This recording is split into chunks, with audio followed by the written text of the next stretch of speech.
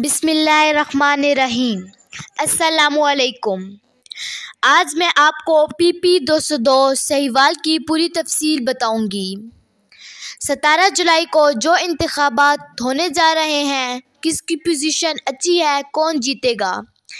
P P दो सौ दो इससे पहले आप हमारे चैनल को सब्सक्राइब करें और बेल आइकन को लाजमी क्लिक करें ताकि हमारी आने वाली हर न्यू वीडियो का नोटिफिकेशन आपको मिलता रहे। 2018 के जनरल इलेक्शन में पीपी 202 सहीवाल से पीटीआई के टिकट से नुमान अहमद लंगड़ियाल ने 57,540 वोट लेकर यह सीट जीती थी। नून लीग के उम्मीदवार 44,349 वोट लिए थे। नोमान अहमद लंगड़ियाल तरीन ग्रुप का हिस्सा बने और वज़ीर अला के इलेक्शन में हमजा शहबाज को वोट कास्ट करके नाअहल हो गए। अब नोमान अहमद लंगड़ियाल को नून लीग ने टिकट जारी किया है। पीटीआई ने पीपी 202 सहवाल से मेजर गुलाम सरवर को टिकट जारी किया है। 2018 के इलेक्शन में भी major Ghulam Sarwar PTI ticket के उम्मीदवार थे, लेकिन टिकट नोमान लंगड़ियाल को दे दिया गया था। मेजर गुलाम सरवर सहीवाल पीपी 202 में एक्टिव लोगों में से हैं।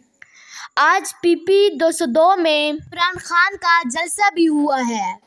बारिश बहुत ज़्यादा होने की वजह से ग्राउंड पानी से भर गया, लेकिन फिर भी बहुत बड़ी तादाद में लोगों ने शिरकत की है।